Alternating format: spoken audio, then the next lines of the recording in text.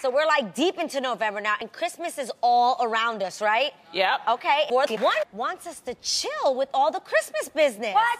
Yes. Worthy One announced recently that they will not be decorating for the holidays. Hold on until after Thanksgiving. I like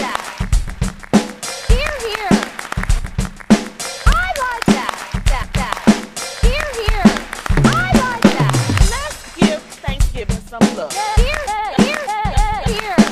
Let's give Thanksgiving some love. I, I like that. Here, here, here, here, here, here. I like that. That, that. Let's give Thanksgiving some love. Here, here, here. Let's give Thanksgiving some love. I like that. Somebody tell me, what is that horn looking Oh, thing? yeah. It's a, it's a Saxophone.